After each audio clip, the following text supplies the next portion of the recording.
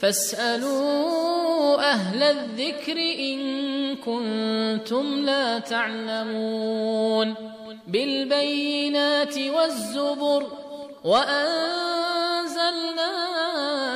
إليك الذكر لتبين للناس ما نزل إليهم ولعلهم يتفكرون السلام عليكم ورحمة الله وبركاته. بسم الله الرحمن الرحيم. الحمد لله وصلى الله وسلم وبارك على رسول الله وعلى آله وأصحابه ومن والاه. حياكم الله إخواني وأخواتي في كل مكان وأهلا وسهلا ومرحبا بكم إلى هذا اللقاء المتجدد من برنامجكم. بقي عندي مجموعة من الأسئلة من اللقاء السابق. الأخت أم عبد الله من الشارقة سألت تقول بأن عندها بنت وحدة خلصت الجامعة والثانية ما زالت تدرس. تقول هل يمكن أن يعطيها أخوها من الزكاة؟ الجواب نعم يا أخت الفاضلة يجوز للأخ أن يعطي أخته من الزكاة في حالتين. الحالة الأولى أن تكون الأخت هذه فقيرة أو مسكينة أو غارمة يعني عليها قروض عليها ديون عليها رسوم. والأمر الثاني أن لا يكون هذا الأخ قد التزم الإنفاق عليها. لا يكون هذا الأخ قد التزم الإنفاق عليها فما دام أن الوالد موجود وعايش هو الذي ينفق عليها والبنت حصل عندها حاجة شديدة في قضية إكمال الدراسة وما عندها قدرة والوالد ما عنده قدرة على أن يعطيها الرسوم هذه يجوز للأخ أن يعطيها من الزكاة. أم عبد الله بارك الله فيها تقول يعني أحيانا الحمد لله حريصين في رمضان على صلاة التراويح وقراءة القرآن والقيام وغير ذلك. تقول أحيانا تصير لنا حاجة نخرج إلى السوق.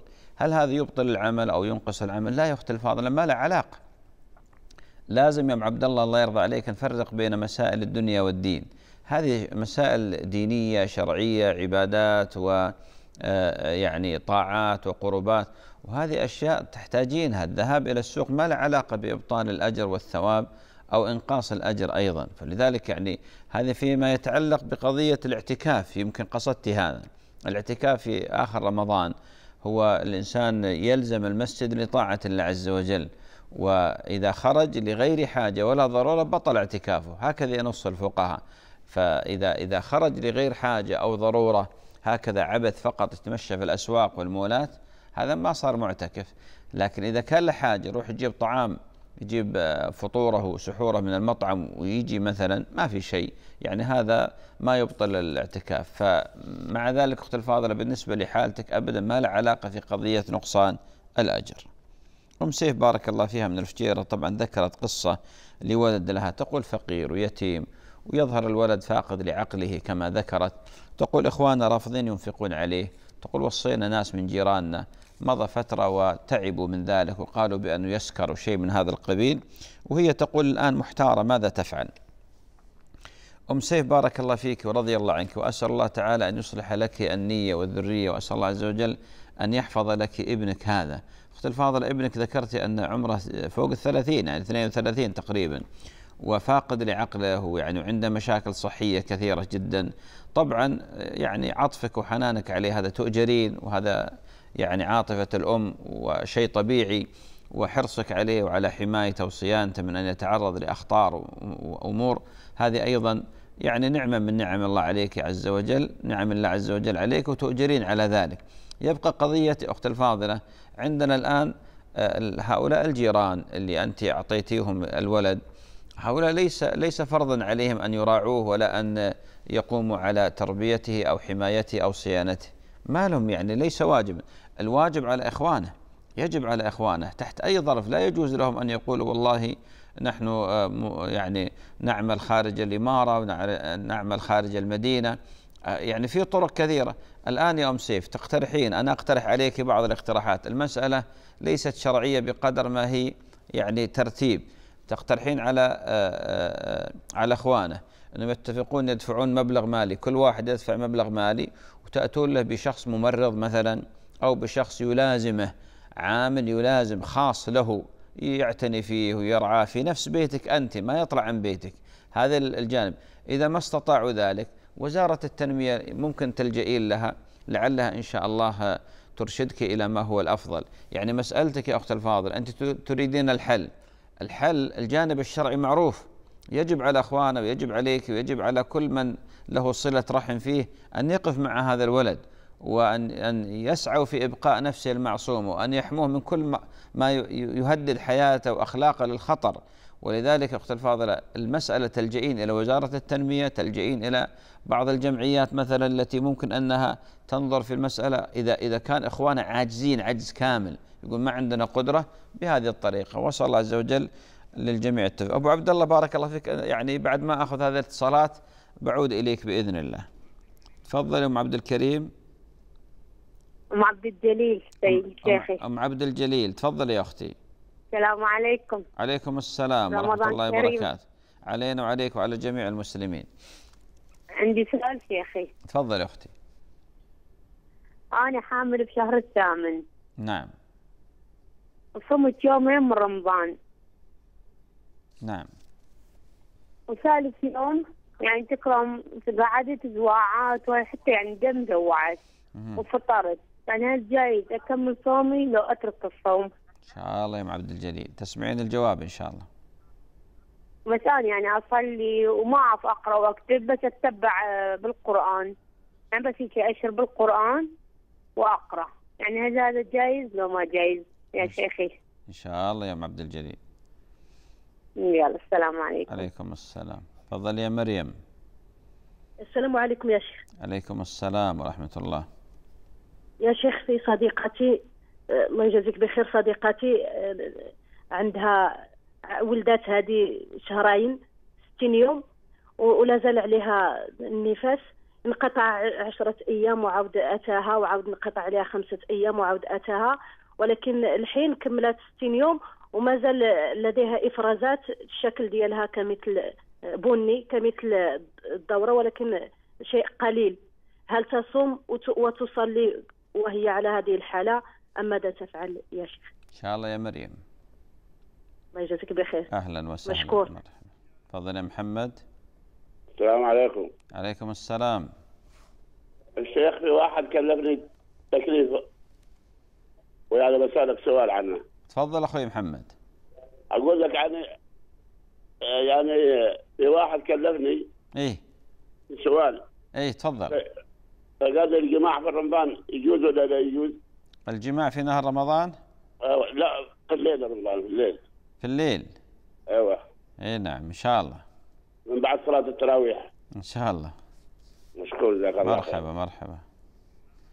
السلام عليكم الله. ورحمة الله وبركاته. وعليكم السلام ورحمة الله. عندي بعض الأسئلة. بارك الله فيك. تفضلي. آه يامس آه عندي دورة شهرية لحد وقتها يامس آه نزلت علي خيوط بنية يعني وأنا ناشفة كامل خيوط بنية يعني مايلة سوداء ولا كدرة خيوط بنية على ذلك تاعي وكملت الصلاة بصح اليوم عم تنزل شوي شوي اليوم افطرت هل نهار تاع يامس صيام صحيح ولا باطل؟ متى نزل عليك أمس؟ يامس إيه يوم أمس أي طيب بالنسبة يوم. لدورتك هذا وقتها؟ هذا وقتها نعم. طيب. اليوم هي تنزل شوي شوي اليوم فاطر صح يامس يامس كانت تنزل علي خيوط بنيه ما عرفت لا نهاري صحيح ما بغيتش نفطر ما حبيتش نفطر. إن شاء الله يا أمة الله. أبشر إن شاء الله. كملت الصيام وصلاه وبغيت نقول لك لو كان تشرح لي غسل الأكبر من الحيض. إن شاء الله. نعم. كل هذا. بارك الله فيكم والسلام عليكم ورحمة الله وبركاته. وعليكم السلام ورحمة الله. تفضل يا مصطفى. الله يعطيك العافية. مرحبا أخوي. الله يسلمك يا الله يجزيك. عندي سؤالين بعد إذنك. تفضل مصطفى. الله يسلمك. إيه عندي كفارة يمين. إيه يجوز أنا أدفع في بلد آخر؟ أنا مقيم في الإمارات. إيه أبغى أدفعها بالشرع إيه بسوريا. يجوز؟ إن شاء الله. كفارة اليمين. آه وبالنسبة لكفارة آه زكاة الفطر آه يجوز أن ادفع للناصور أو الحارس البنائي وما وما وكم مقدارها إن شاء الله يا مصطفى. الله يسلمك شكرا. مرحبا أخوي. طيب نكتفي بهذا القدر. ابو عبد الله بالأمس سأل يقول كنا نصلي العصر. يقول فيه يعني شخص جاته ابنتها الصغيرة وقالت له بأن البيت احترق. يقول ترك الصلاة وخرج. ما الحكم في مثل هذه الحالة؟ أولا أسأل الله تعالى أن يحفظ يحفظه ويحفظ أهله وبيته. الأمر الثاني بارك الله فيك ما دام أنه قطع الصلاة بمثل هذا الأمر فيجب عليه أن يعيد الصلاة. الآن هو أبطل صلاته بالذهاب وهذا واجب عليه. ولذلك عندنا قاعدة أن الإنسان إذا كان في صلاة الفرض وتعرض هو لخطر أو تعرض آخر لخطر كأن يرى مثلا شخص أعمى يخشى أن يسقط في حفرة أو عقرب أو ثعبان أو طفل يخشى عليه أن يقع في النار أو مثل هذه الحالة. شخص الآن احترق بيته وقيل له يجوز إذا استصرخ على مثل هذا الأمر يذهب ويعني يسعف يسعف أهله يسعف الآخرين يساهم أو يسهم في قضية إطفاء الحريق وشيء من هذا القبيل. لكن بالنسبة للصلاة يجب عليه أن يعيدها من جديد. بارك الله فيك. بلغه بهذا. يعيد الصلاة من جديد. بارك الله فيك. أبو عبد الله يقول بالنسبة للاستغفار يقول إذا أراد الشخص عمل معين يقول يجلس يستغفر هل هذا مشروع؟ أخي الفاضل بالنسبة للاستغفار عبادة جليلة وعظيمة. الاستغفار سبب من أسباب تكفير الذنوب والسيئات. الاستغفار سبب من أسباب تقوية القلب. الاستغفار سبب من أسباب انشراح الصدر. الاستغفار سبب من أسباب هو هو عبادة بذاته شعار للمؤمنين. وشعار حتى للأنبياء عليهم الصلاة والسلام. نوح ماذا كان يقول لقومه؟ فقلت استغفروا ربكم إنه كان غفارا. لذلك يا أخي الفاضل ينبغي للإنسان أن يكثر من الاستغفار يكثر من الاستغفار يكثر من التسبيح لأن الله تعالى أمر بذلك. لكن إذا هو أراد أن يقدم على شيء لا يستخير ما يستغفر. يعني الآن هو يريد أن يقدم على شيء متردد فيه يستخير يقول اللهم أني أستخيرك بعلمك. وأستقدرك بقدرتك فإنك تعلم ولا أعلم وتقدر ولا أقدر وأنت علام الغيوب. اللهم إنك إن كنت تعلم أن هذا الأمر يسميه خير لي في ديني وفي دنياي وفي عاجل أمري وآجل فيسره لي ويسرني له واكتب لي الخير حيث كان. وإن كان هذا الأمر سميه شر لي في ديني وفي دنياي وفي عاجل أمري وآجله فاصرفه عني واصرفني عنه واكتب لي الخير حيث كان ثم رضني به ويمضي في هذا الأمر. تقول لا أنا أقصد بأن شخص يريد آه، يرغب في حاجة معينة ها فيستغفر لأجلها. لا يدعو الله عز وجل. هذا ليس محل محله الاستغفار. هذا مثلا تقول اللهم ارزقني بيتا اللهم ارزقني سيارة اللهم ارزقني زوجة صالحة اللهم ارزقني آه، يعني النجاح في التجارة وربح مثلا. يعني يدعو الله. الله عز وجل وقال ربكم ادعوني أستجب لكم. وإذا سألك عبادي عني فإني قريب أجيب دعوة الداعي إذا دعان.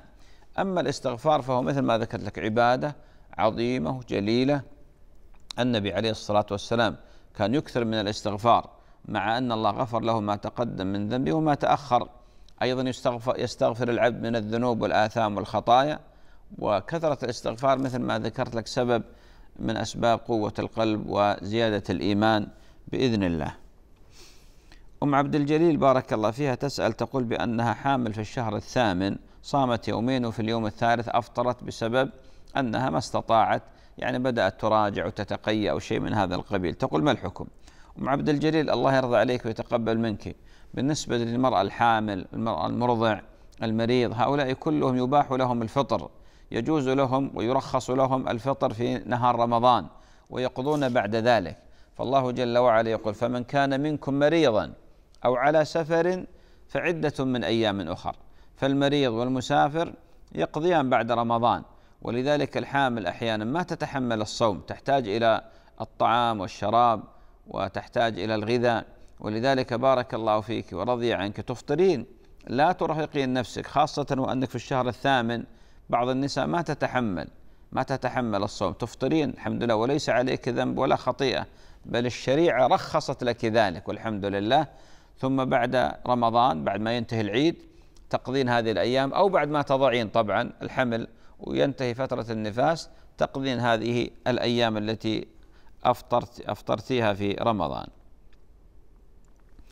أم عبد الجليل تقول أنا امرأة ما أعرف أقرأ ولا أكتب لكنني أضع أصبعي على القرآن وأتتبع هل هذا مشروع؟ أختي الفاضلة ألا أدلك على خير من ذلك؟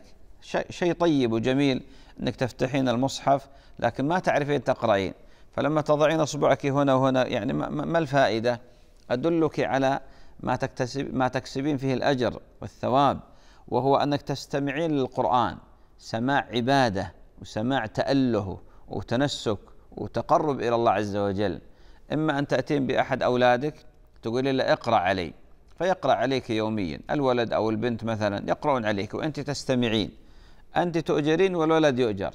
إذا ما عندك أولاد أولاد صغار أو شيء ممكن تسمعين إلى القرآن من خلال الإذاعة أو من خلال الأقراص أو من خلال الأشرطة مثلا تستمعين إليها.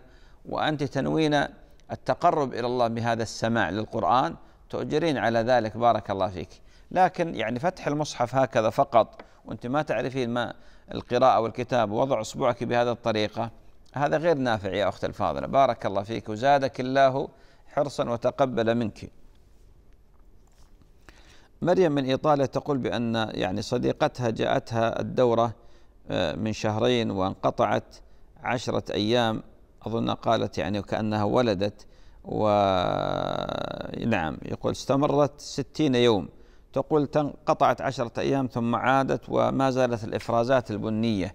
تسأل من من جهة الصوم تقول ما الحكم؟ مريم الله يرضى عليك ويبارك فيك. أولا بالنسبة للنفاس إذا كنت تسألين عن النفاس النفاس لا حد لأقله. دم النفاس سببه إيش؟ الولادة. دم النفاس غير الحيض. دم النفاس سببه الولادة. وأما دم الحيض فهو دم طبيعة وجبلة وعادة مشهور يعني عند النساء شهريا تنزل عليها الدورة الشهرية. دم النفاس سببه الولادة. ولذلك لا حد لأقله. فالمرأة قد ينزل عليها الدم في النفاس أسبوع أو عشرين يوم أو عشر أيام أو ثلاثين أو خمسة وثلاثين أو أربعين وفي من النساء من يتجاوز ذلك. ولذلك عندنا مسألة مطروحة عند أهل العلم.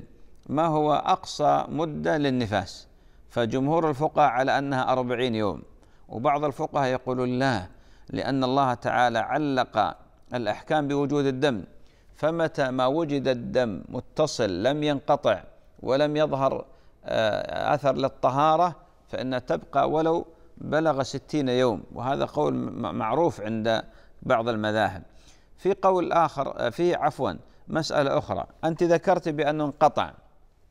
يعني الآن مثلا الدم لما انقطع وظهر الطهر خلاص ما ما ينزل من الدم بعد ذلك إنما هو من من من يحسب من العادة الشهرية.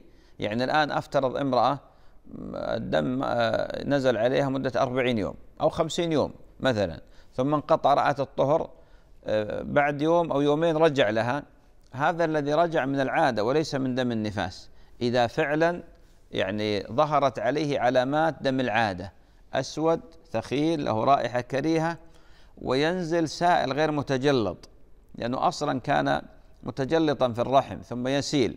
فهذه الأوصاف هي التي أما إذا كان دم جرح مثلا أو دم آه، غير مثلا ذكرت أنت إفرازات أو أشياء بنية أو كدرة أو صفرة هذه ليست بدم آه، عادة. هذا هذه هذا طهر.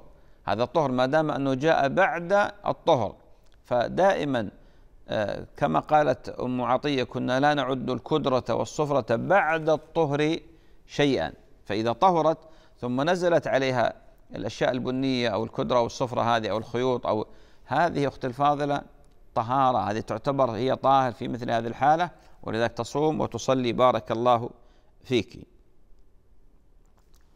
الأخ محمد بارك الله فيه آه، يسأل يقول ما حكم الجماع في ليل رمضان؟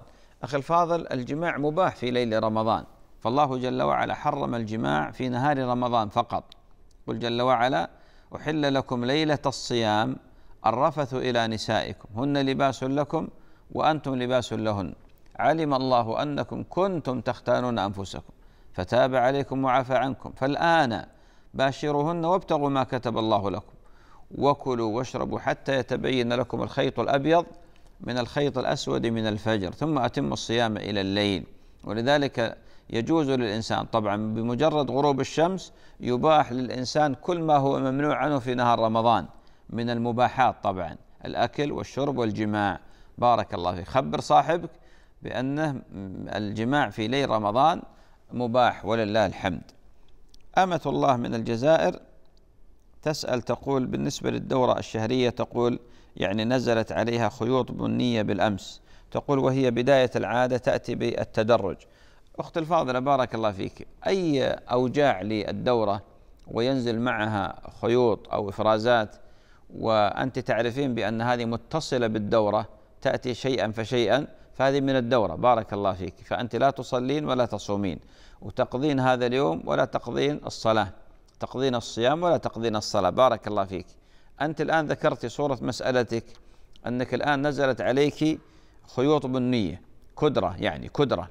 وهذه بحسب معرفتك أنت وأنت أدرى بحالتك آه، تنزل بعدها العادة بتدرج يعني مباشرة تأتي متصلة بالعادة.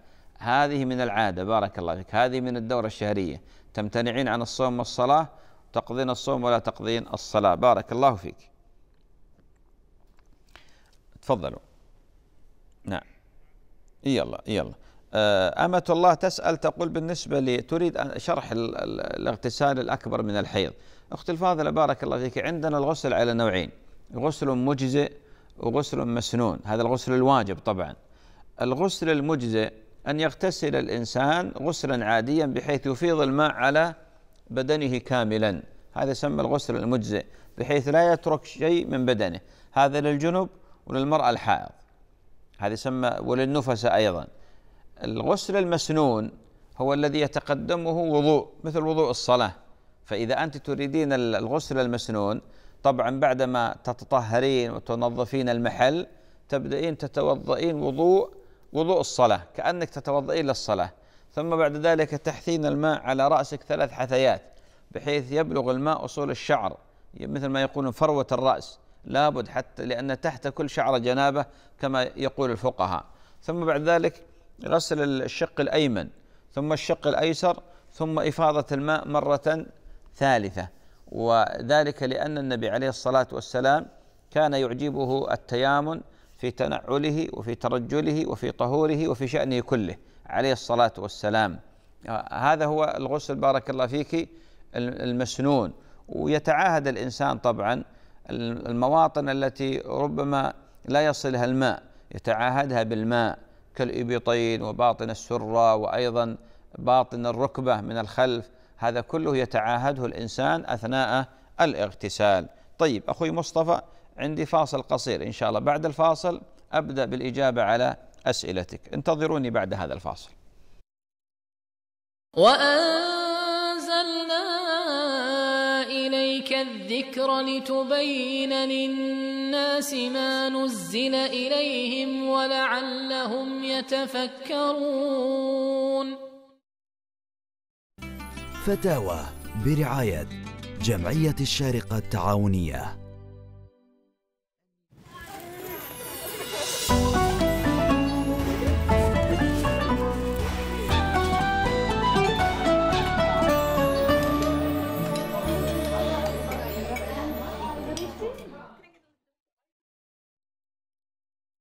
وأنزلنا إليك الذكر لتبين للناس ما نزل إليهم ولعلهم يتفكرون. حياكم الله من جديد. الأخ مصطفى بارك الله فيه يسأل يقول علي كفارة يمين هل يجوز أن أبعثها إلى يعني بلدي الأصلي في سوريا وأنا أعيش في الإمارات؟ الجواب نعم يجوز لك أن تبعث كفارة اليمين إلى أهلك في سوريا من المحتاجين أو المهجرين مثلا يجوز يجوز. حتى زكاة المال إذا عندك زكاة مال ما في بأس لو بعثتها إلى أهلك هناك وذلك للحالة التي يعيشونها. مصطفى أيضا يسأل عن زكاة الفطر يقول هل يجوز أن أعطيها الناطور وكم مقدارها؟ أولا أخي الفاضل زكاة الفطر تعطى للفقراء. زكاة الفطر تعطى للفقراء فالناطور هل هو فقير؟ ليس كل ناطور فقير يا أخي الفاضل. فتأكد من حالته. وليس كل عامل فقير وليس كل خادمة فقيرة. تنبهوا لهذا. فإذا كان تبين لكم بأنهم فعلا فقراء ومحتاجين أعطوه ما ما في بأس فتعطى للفقير أما المقدار فصاع. والصاع محل خلاف بين أهل العلم والذي يظهر بأنه كيلوين ونصف مثلا كيلوين ونصف أو ثلاثة إلا ربع. وبعض العلماء يجعل دون ذلك يقول كيلوين وتقريبا و و وربع مثلا. بعض الفقهاء يقول هكذا ربع أو يزيد. ولذلك خليها كيلوين ونص. بارك الله فيك. من طعام أهل البلد من الرز أو غيره. تفضلوا. تفضل يا إكرام. عليكم يا شيخ. عليكم السلام ورحمة الله. أه سؤالي عن عن دعاء القنوت يا شيخ في صلاة التراويح. اخفض التلفزيون يا إكرام. الله يرضى عليك. اسمعيني من الهاتف. حاضر. تفضلي. متى يصح دعاء القنوت؟ يعني ممكن أدعو في أوائل الركعات من صلاة التراويح أو في وسط رمضان أو في آخر رمضان. يعني أوائل رمضان ها؟ نعم. وسؤالي الثاني آه عندي بنت عمي يعني هي تصلي وتصوم الحمد لله تدعو الله لكنها تقول أن الله لا يستجيب لدعائها. الله يخليك يا شيخ انصحها إن شاء الله. آه وعندي كذلك سؤال ثالث. مم. أنا عندي آه لبس صلاة. عندك ماذا؟ ملابس للصلاة. عفوا أعيدي أعيدي. لباس للصلاة. لباس؟ نعم للصلاة. أيوة. هو في الأول أنا ما كنت أعتقد أنه شفاف لكن اليوم لاحظت أنه شفاف. كنت أصلي به دون أن أعلم يعني صلاتي تجوز أم لا. إن شاء الله يا أكرم. شكرا يا شيخ بارك الله فيكم أهلا وسهلا. تفضل يا أحمد. السلام عليكم الشيخ السلام ورحمة الله. كيف الصحة؟ الحمد لله الفضل لله. طولت عمرك أنا أذن الفجر كان شربت. إي نشيت مرقات يعني. الأذان يصيح وأنا أشرب يعني يعني قضاء ولا لي شيء يعني. متعمد؟ لا لا ما متعمد. نشيت مرقات كما مفاجئ يعني راقد كنت. إي، وشربت و- والأذان يأذن. إيه نعم يأذن. في أولة ولا آخرة؟ أو أول ما يأذن بالنص. أنا ما منتبه راقد ما إي ما منتبه لهذا اي والله هذا اليوم السؤال هذا كثر اليوم غريبة يعني. كل الناس اليوم النوم سلطان ترى شو نسوي بعد؟ اي الله يعين طيب يا أحمد. بارك الله فيك مرحبا. تفضل أبو صالح. السلام عليكم ورحمة الله وبركاته. عليكم السلام ورحمة الله وبركاته. أنا مقبولة وضيف الشيخ. منا منك جزاك الله خير. طول لي عمرك. بالنسبة للمضمضة في رمضان إي. يعني هل هي تفطر؟ يعني عندما الإنسان يوضي صلاة الفجر أو الظهر أو العصر؟ هذا سؤالي الأول. أيوه. السؤال الثاني الله يحفظك. عندما أذهب إلى المسجد وفي باقي دقائق بسيطة من من الإذان فصليت أنا تحية المسجد الركعة الأولى والركعة الثانية أنا في التحيات. أذن. هل أكتفي؟ يعني تعتبر قد سنة ال- تحية المسجد وسنة الظهر؟ أو لازم أدري بركعتين أخرى؟ إن شاء الله يا أبو صالح. الله يحفظكم إن شاء الله. مرحبا مرحبا. تفضل يا منى. منى. السلام عليكم يا شيخ. عليكم السلام ورحمة الله. عندي سؤالين يا شيخ. تفضلي. أنا أروح مقرية أشتغل فيها وأروح متأخرة عن صلاة التراويح. هل جائز لي أصلي العشاء والتراويح أو لا؟ تشتغلين في قرية؟ يا في بيتين اثنين بيوت. أشتغل فيها أروح متأخرة على البيت لقي صلوا العشاء والتراويح. أصلي العشاء والتراويح ما أصليها؟ جائز أو لا؟ ومتى تصلين العشاء؟ أصلي لما أروح. لما ترجعين ها؟ يا لما أرجع للبيت أصلي العشاء لقي صلوا الناس التراويح. طيب السؤال الثاني. السؤال الثاني عندي بنتي عدى اليوم عليها الفجر وهي تأكل. بعدين تفلا وقاما هل صيامها جائز أو لا؟ كانت تأكل؟ يا. وبعدين إيش حصل؟ أذن المؤذن؟ أيوه أذن المؤذن أول اذان وهي تأكل بعدين تفل الأكل من سمها وقاما طيب الأذان الثاني مش الأول؟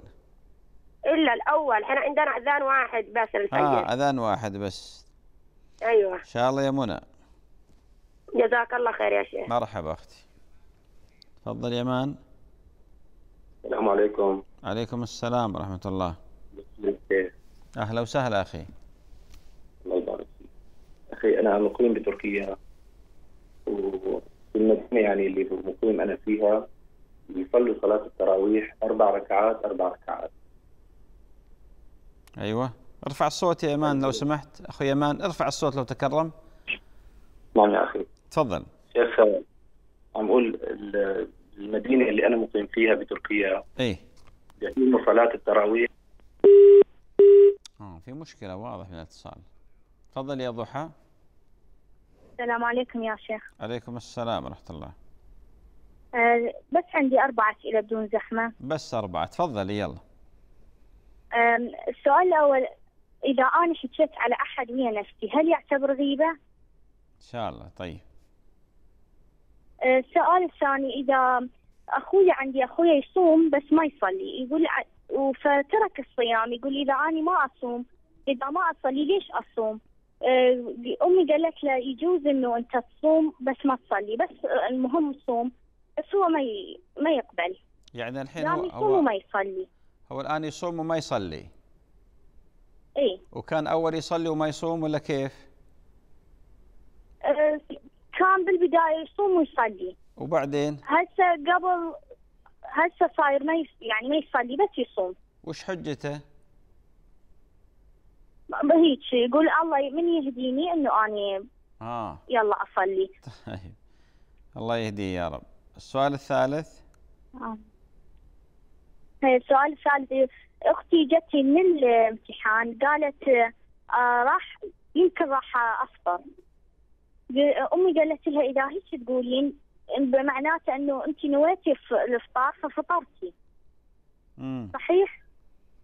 طيب. بس هي ما فطرت. طيب. أخير شيء بس أني يعني مقربة امتحاناتي آه، وما أدري إيش بيا صايرة يعني ما أقرأ وكنت يعني ونفسيتي كلش تعبانة ويعني شو أسوي يا شيخ؟ يعني أنا كنت أقرأ وكنت كلش كل يعني زين أجاوب وهاي بس هسه صايرة ألزم الكتاب ما أقدر أقرأ. وش أسوي؟ وإن شاء الله تدعي لي يا شيخ. شاء الله. الله يحفظك يا ضحى وتسمعين إن شاء الله التوجيه والنصيحة. ها خلصنا؟ شكرا. مرحبا. ها. ما اسمع أيوه طيب أرجع إلى الأسئلة. الأخت إكرام من الجزائر تسأل عن دعاء القنوت. تقول متى يكون دعاء القنوت؟ أخت الفاضلة النبي صلى الله عليه وسلم علم الحسن بن علي دعاء القنوت. اللهم اهدني فيمن هديت وعافني فيمن عافيت وتولني فيمن توليت وبارك لي فيما أعطيت وقني واصرف عني شر ما قضيت. أنك تقضي ولا يقضى عليك إنه لا يذل من واليت ولا يعز من عاديت. تباركت ربنا وتعاليت. يقوله في منتصف رمضان يعني من 15 رمضان إلى آخر رمضان يقول هذا الدعاء. لكن هذا ما يمنع أن الناس يدعون الله عز وجل من أول رمضان ولا لا سيما ونحن يعني أهل الإسلام بأمس الحاجة إلى الدعاء. فلو الإنسان دعا من أول رمضان ما في حرج. لو دعا من أول رمضان ما في حرج. ولو دعا من أول رمضان وترك يدعو ليلة ويترك مثلا هذا كله مشروع وجائز ولله الحمد والمنة. إكرام تقول عندي آه، بنت عمي تصلي وتصوم وتقول بأنها دائما تقول بأنها بأن الله لا يستجيب لي. تقول تريد نصيحة يعني تقول بأن الله لا يستجيب دعائي. يا إكرام بارك الله فيك. وجهي بنت عمك إلى أن تتقي الله وأن تتوب إلى الله عز وجل من هذا الكلام. الذي تفوهت به. لماذا؟ لأنها والعياذ بالله عاصية لله. والله جل وعلا ماذا يقول؟ يقول وقال ربكم ادعوني أستجب لكم. قل جل وعلا وإذا سألك عبادي عني فإني قريب أجيب دعوة الداعي إذا دعان. فليستجيبوا لي وليؤمنوا بي لعلهم يرشدون. النبي صلى الله عليه وسلم يقول الدعاء هو العبادة. ولذلك لا يجوز مثل هذا الكلام. ما من أحد يدعو الله عز وجل إلا استجاب الله له. وهذه الاستجابة إما أن تكون ماثلة أمامه الآن يشوف دعا الله في شيء فاستجاب الله له وإما أن يؤجلها الله عز وجل لحكمة بالغة لا يعلمها إلا الله عز وجل لأنه لو استجاب الله له في هذه اللحظة قد يكون شر لهذا الإنسان. لا يصلح له لا يصلح له هذه الاستجابة في هذا الظرف الزماني أو المكاني. فالله حكيم جل وعلا. له الحكمة البالغة ولذلك قد يؤخر الله عز وجل للإنسان إجابة الدعاء ويبقى الإنسان متعلق يعني عنده أمل بالله عز وجل. الأمر الآخر قد يدخر الله عز وجل لعبده ولأمته قد يدخر لهم أجر هذا الدعاء يوم القيامة في يوم لا ينفع فيه مال ولا بنون إلا من أتى الله بقلب سليم. ولذلك الإنسان يتمنى ما في أحد يوم القيامة إلا ويتمنى أن الله تعالى استجاب كل ادعيته يوم القيامة. لماذا؟ خلاص حياة أبدية سرمدية. الأمر الثالث أن الله عز وجل قد يصرف عنها من السوء في مقابل هذا الدعاء الذي طلبته. يصرف الله عنها شيء آخر. يصرف الله عنها شيء آخر. يعني الآن أسألك يا أختي إكرام قولي لها لو سألت الله عز وجل النجاح في الدراسة فصرف الله عنها مهلكة. مهلكة. أيهما أفضل عندها؟ تنجح في الدراسة ولا تموت؟ تنجح في الدراسة ولا تتعرض لآفة وتتعرض لإعاقة وتتعرض لشر؟ شتان. ولذلك النبي عليه الصلاة والسلام بين لنا وهو الصادق المصدوق أنه ما في أحد يدعو الله عز وجل إلا ويستجيب الله له. والاستجابة على ثلاثة أنواع. إما أن يستجيب الله له حالا أو مآلا وإما أن يدفع الله عنه من الشر آه، آه، في مقابل هذه الدعوة شر عظيم يدفع الله عز وجل عنه. وإما أن يدخر له من الخير مثله يوم القيامة. يدخر له من الخير مثله يوم القيامة. والأمر الآخر المؤمن يحسن الظن بالله والمنافق يسيء الظن بالله. ولذلك قال تعالى ذلكم ظنكم الذي ظننتم بربكم أرداكم. هذا المنافقين والعياذ بالله. أما المؤمن فهو يحسن الظن بالله جل وعلا. ومن إحسان الظن أننا نتيقن في قرارة أنفسنا أن الله يستجيب دعاءنا. هذا من إحسان الظن بالله. والنبي عليه الصلاة والسلام يقول من مات وهو يحسن الظن بالله أدخله الله الجنة. ويقول النبي عليه الصلاة والسلام قال الله تعالى أنا عند ظن عبدي بي فليظن عبدي ما بي ما شاء. أنا عند ظن عبدي بي فإذا ظننت بالله خيرا فالله عز وجل آه، سيعطيك الخير. أنا عند ظن عبدي بي. ومن ظن بالله السوء والعياذ بالله عليه دائرة السوء والله عز وجل سيسلط عليه. ولذلك لا يجوز للمسلم أن يعيش هذا الإحباط وهذا اليأس وهذا القنوط. المؤمن دائما صاحب فأل عنده فأل عظيم عنده ثقة بربه جل وعلا. ولذلك أحيانا بعض الأشياء تتأخر. يعني إنسان يدعو الله عز وجل دعاء فيستجيب الله له بعد أربعين سنة أو بعد ثلاثين سنة أو بعد عشر سنوات. لماذا؟ لحكمة بالغة لا يعلمها إلا الله. كثير من الناس تعجلوا الدعاء فاستجاب الله لهم. فأصبحت هذه النعمة التي أذاقهم الله إياها وبال عليهم. هم استعجلوا ذلك. وهم الذين رغبوا في ذلك وبال عليهم. ولذلك لله الحكمة البالغة في تأخير الإجابة. لا يسأل ربنا عما يفعل. ويجب على المؤمن أن يحسن الظن بربه. أن يحسن الظن بربه. أحيانا الآن في حياتنا أشياء كثيرة جدا ما نعلمها. ما نعلمها. قدر الله عز وجل علينا مقادير كثيرة وأشياء كثيرة. يصرف الله عنا عز وجل الشر ويعطينا الخير ها؟ ونحن لا ندري. يعني الآن بعض الناس يدعو الله يريد الرزق الحلال ها؟ يريد مال فيعطيها الله زوجة صالحة يعوضها الله عز وجل لأن المال ما يصلح له يصلح لغيره. بعض الناس الآن يتمنى وظيفة عالية فالله عز وجل يعطيه أولاد صالحين أو آه، يرزقه بيتا مثلا لأن الوظيفة هذه العالية ما تصلح له لأنه ربما إذا وصل إلى هذه المرحلة تكبر وطغى وعتى مثلا. بعض الناس يسأل الله شيء فيعطي الله شيء آخر. وللأسف الشديد بعض الناس ما يتلمس هذه الأشياء التي التي التي عنده. الآن لو لو بنت عمك هذه جلست تحسب النعم التي عليه والله ما انتهت. نعم الله عليها ظاهرة وباطنة. فذكريها بهذا. بارك الله فيك. إكرام تقول يعني لباس الصلاة كنت اللي ألبسه خفيف وما كنت أدري. الآن تنبهت. هل عليه شيء؟ ما عليك شيء. ما دام تجهلين هذا الأمر وأخطأت فيه الآن الآن تحسنين لباس الصلاة. بارك الله فيكم. ما مضى مضى ولله الحمد ولكن انتبهي لي آه، في الأيام المستقبلة. أحمد من دبا يقول بأن عند أذان الفجر يقول استيقظت فشربت عند أول الأذان. يقول يعني قمت متأخر وفزع وما هذا ما عليك شيء. إذا كان مع أول الأذان. أما إذا كان يا أحمد في آخر الأذان الله يعينك على القضاء لأنك سمعت الأذان. أما في أول الاذان فإن أغلب المؤذنين ان يحتاطون بدقيقتين أو دقيقة. فلما يشرب الإنسان في أوله إن شاء الله يكون قد شرب قبل طلوع الفجر الصادق. بارك الله فيك. لكن مستقبلا تحتاط يا أحمد. أبو صالح بارك الله فيه يقول المضمضة في رمضان تفطر؟ ما تفطر الله يرضى عليك. المضمضة واجبا واجبات آه، الوضوء والغسل. المضمضة واجبا واجبات الوضوء والغسل. المضمضة والاستنشاق. ولذلك نتمضمض نحن أثناء الصيام. والعلماء يقولون ما يبقى من أثر المضمضة على اللسان وفي الفم هذا معفو عنه. يعني بقية الماء والرطوبة التي في الفم من أثر المضمضة هذا مما عفى الله عز وجل عنها. أما الاستنشاق فلا يبالغ الإنسان في وقت الصيام. أما في غير الصيام فمن السنة أن يبالغ في الاستنشاق لقول النبي عليه الصلاة والسلام وبالغ في الاستنشاق إلا أن تكون صائما. لأن الإنسان لما يستنشق ما يتحكم بالماء الذي ربما دخل من الأنف إلى الجوف. ولذلك يستنشق استنشاق طبيعي ما يوصل إلى الخياشيم لا إلى منطقة الأنف فقط. ولذلك المضمضة ما تفطر يا أبو صالح. أبو صالح يقول أنا لما جلست أصلي تحية المسجد وسنة الظهر وقيمة الصلاة يقول يعني هل أعيد هذا أم ماذا؟ أخوي أبو صالح الله يرضى عليك أنا دائما أنبه اللي دخل المسجد ويريد يصلي تحية المسجد ويصلي سنة الظهر القبلية. ما في داعي يجيب تحية المسجد ثم يجيب سنة الظهر القبلية ركعتين وسنة الظهر القبلية آه، ركعتين الأخريين. لا ما في داعي. لما تدخل وتصلي تصلي سنة الظهر القبلية الراتبة هذه آه، عوض عوضتك عن عن تحية المسجد.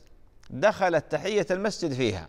بمعنى تصلي أربع ركعات قبل الظهر ركعتين ركعتين. فما في حاجة تقول أبغى أقضي بعدين. ولذلك أخي الفاضل ما تصلي ست ركعات قبل الظهر. تقول تحية المسجد ركعتين وركعتين وركعتين. لا تصلي أربع ركعات فقط. بارك الله فيك.